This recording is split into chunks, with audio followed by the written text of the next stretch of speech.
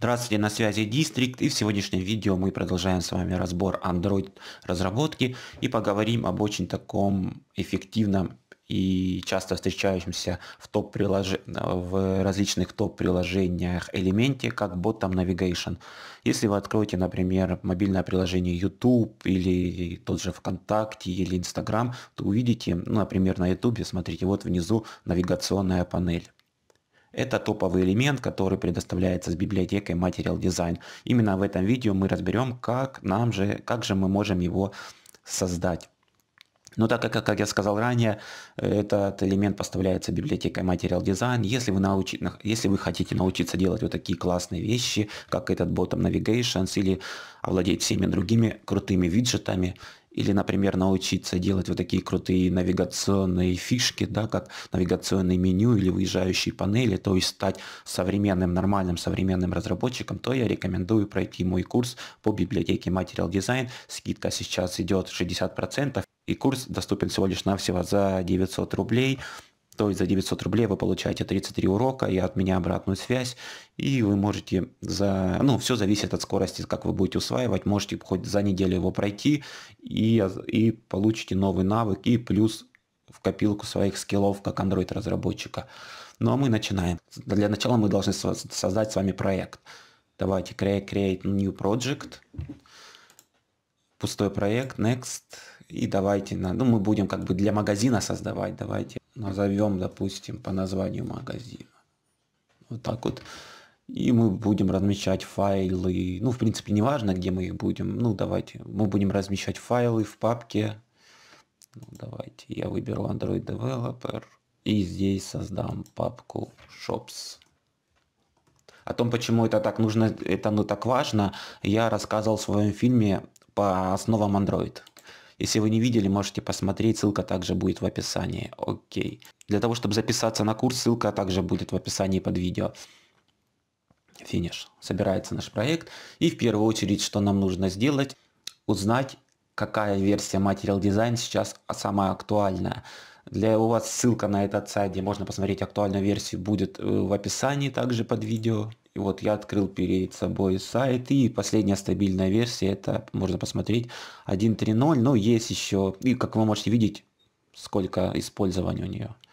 Ну, есть бой еще с версией в состоянии альфа и бета. Ну, давайте подключим в 1.3.0, потому что на этой версии хорошо Bottom Navigation и работает. Так, наш, наш проект почти собрался. Давайте зайдем в Build Gradle Applications и подключим вот здесь Data Binding. Отлично. Теперь нам нужно создать переменную с нашей версией, с нашей актуальной версией Material Design, как я сказал, актуальная версия библиотеки 1.3.0. Вот я создал переменную с версией 1.3.0 и теперь подключаем нашу библиотеку. Код подключения также будет у вас в описании. Куда-нибудь вниз сюда вставим его. То есть я подключаю здесь нашу переменную md, которая содержит уже версию нашей библиотеки. Теперь следующее, что нам нужно сделать, нам нужно перейти в ресурсы, в папочку value и открыть под папочку themes. Открыть два здесь файла, темы для обычной версии и для темной версии. Код также, теперь нам нужно прописать без actions bar, то есть сделать, выбрать стиль вот такой, но actions bar. И то же самое для светлой темы сделать. Отлично. И теперь по поводу цветов. Давайте сделаем у меня темная тема, поэтому я буду показывать на темной теме. Если вы не знаете, как работать с, с разными вариантами тем, я вам советую посмотреть мой фильм по основам Android. Там я все подробно разбираю. Ну, здесь давайте подключим черный цвет, черный цвет. Либо можете заказать у меня экспресс обучение на котором, с помощью которого я лично с вами могу поработать и очень быстро вас натаскать по основам Android. Все, мы подключили библиотеку, мы настроили все стили, теперь давайте синхронизируемся. Я думаю, это все довольно-таки быстро пройдет. Отлично. Что такое Bottom Navigation? Bottom Navigation, он будет у нас содержать, как вы видите, э, различные иконки с подписями, да, и при этапе по каждой иконке будет э, подгружаться определенный контент. Этот контент мы разместим в трех разных фрагментах. Но по факту вот этот список иконок, которые внизу в ряд идут, это обычное меню. Поэтому нам нужно создать сначала меню. Для этого в папочке res создаем директорию меню. И внутри этой директории меню давайте создадим файл, меню ресурс файл. Назовем его bot, bottom меню. Отлично. Создаем, переходим во вкладку код. И у нас открылся вот такой пустой файл. Также образцы всех кодов будет у вас в описании. Я просто беру, это все выделяю и вставляю готовый код с меню. Что здесь такое? Смотрите, меню открывается, открываются две стандартные да, библиотеки, чтобы могли обращаться по типа Android и по App. Далее, каждый пункт меню представлен вкладкой Item. В идеале в Bottom Navigations рекомендуется размещать от 3 до 5 пунктов меню. Но я выберу золотую середину и размещу 4 пункта меню. Давайте, у нас это будет, ну, во-первых, Home. Давайте назовем Home Item. Также у нас будет это Shop. Shop Item.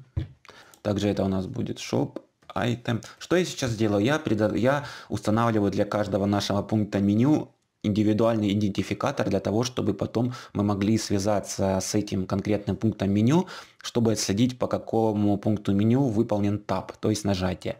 Дальше давайте, ну у нас будет избранное, да, избранные товары. И давайте что сделаем? А, можем аккаунт сделать. Все, отлично. Смотрите, вот это свойство show as actions и со значением if room говорит нам о том, что мы всегда должны показывать эту иконку вне зависимости, ну, должны показывать иконку вне зависимости от размеров экрана. Теперь нам нужно подключить иконки сами и заголовки. Давайте в string зайдем, создадим, нам нужно создать 4 переменных, 4 строковых таких значения да, для, каждого, для каждой иконки, для каждого пункта меню. Ну и назовем, естественно, их тут, допустим, home.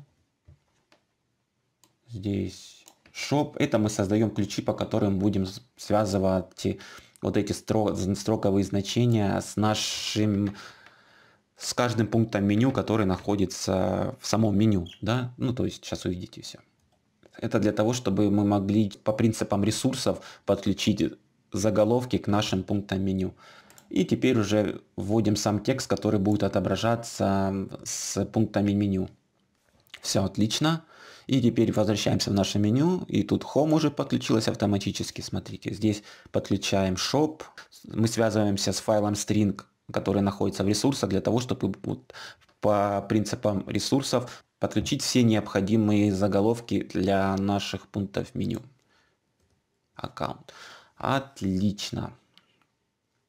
Ну что, теперь давайте мы с вами загрузим иконки с классической библиотеки Android. Для этого Drawable, правая кнопка мыши, вектор Asset.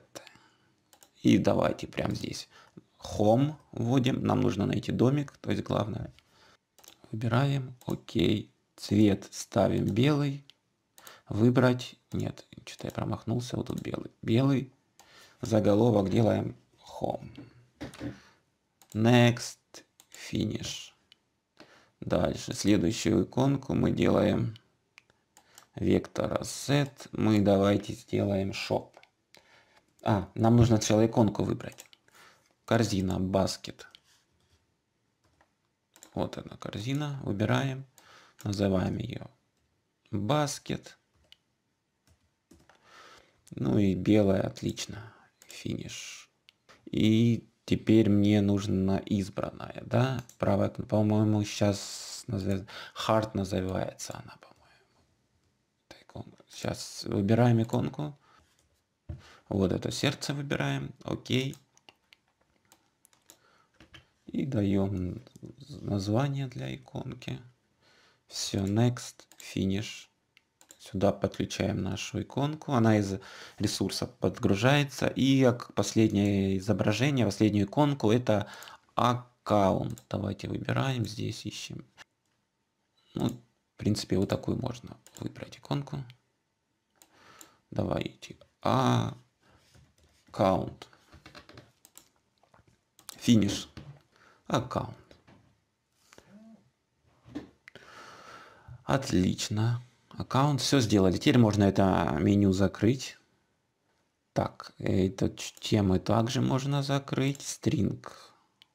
Можно закрыть. Build можно закрыть. Так, что теперь нам нужно...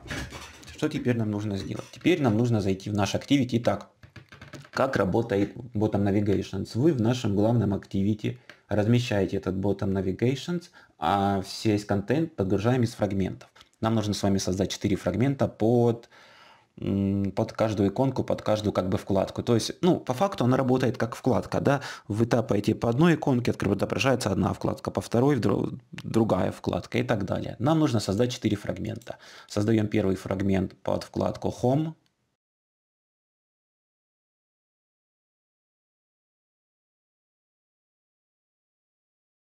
Мы ничего не будем здесь настраивать в классе, нам нужно просто разместить иконку для того, чтобы мы визуально видели, какая вкладка погружается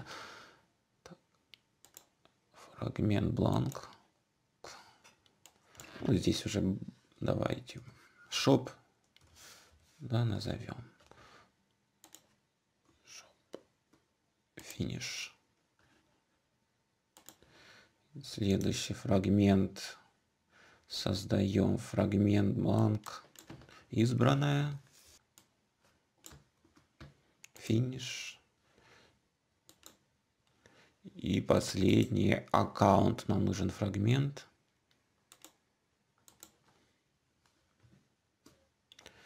Финиш. Вот у нас есть 4 фрагмента. Начинаем с Home. Нам нужно разместить здесь иконку нашу. Иконка размещается в виджете Image View.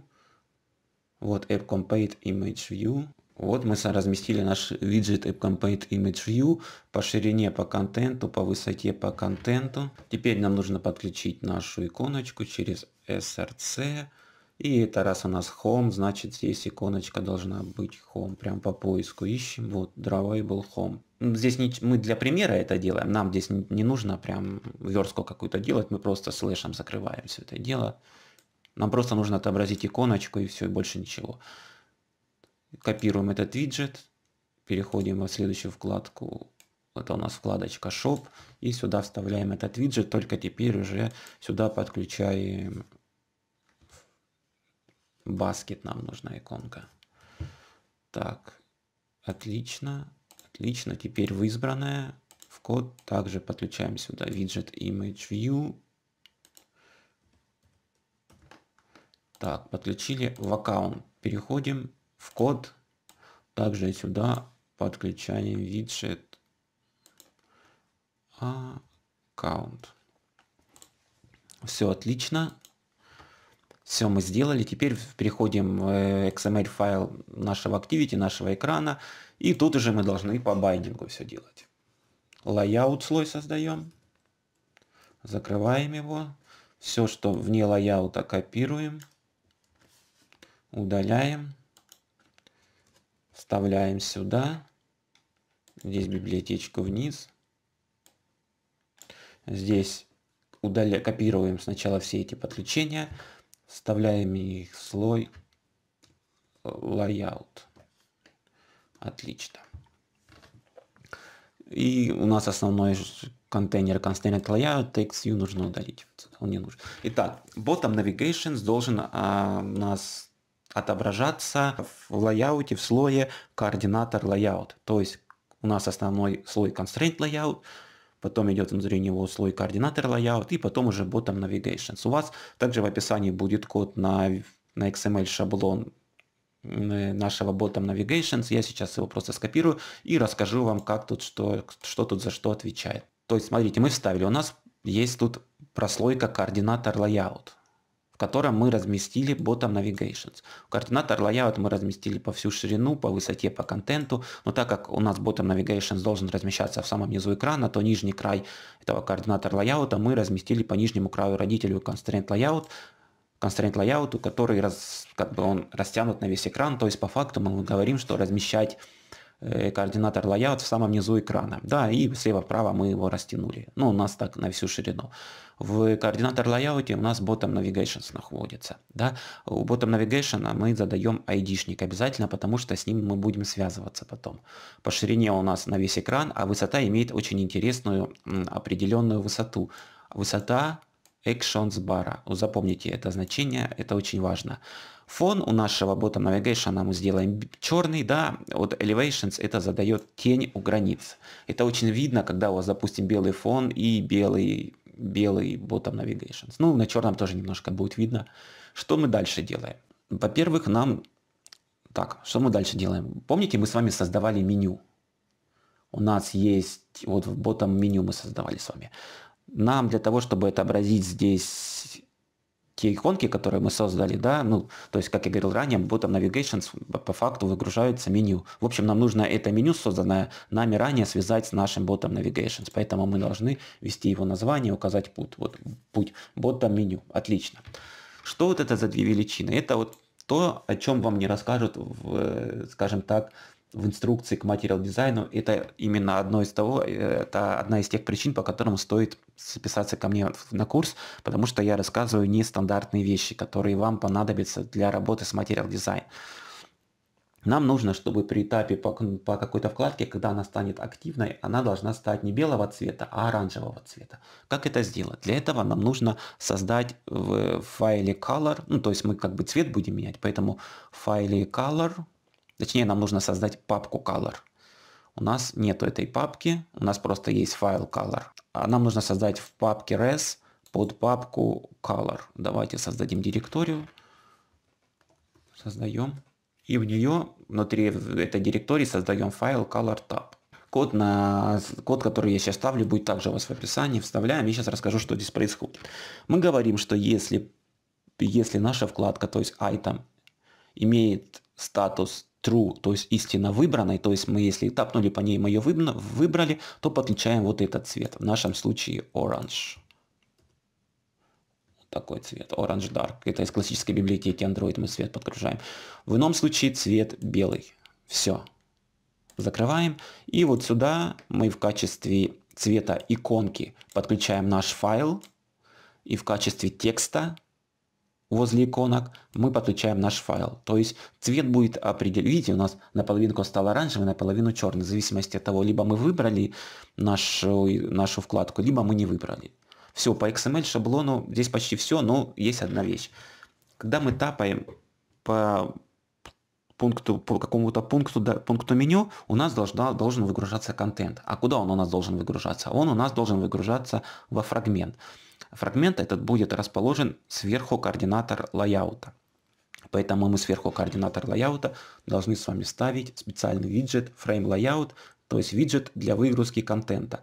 Сейчас я вам расскажу, что здесь за что отвечает. Это ID-шник, он нужен обязательно, потому что мы будем прописывать выгрузку в этот контент всю необходимой информации. По ширине он по контенту, по высоте он по контенту размещается ну, по стандартному в констрейнт лайаута сверху. Мы хотим его разместить по центру, поэтому мы его прижимаем к верхнему краю, к нижнему краю и по сторонам. Здесь можно, конечно, было и старт и end прописать, но пусть останется так. Так, мы с XML шаблоном закончили. Теперь переходим в Main Activity. Здесь, во-первых, нам нужно в Kotlin классе подключить binding.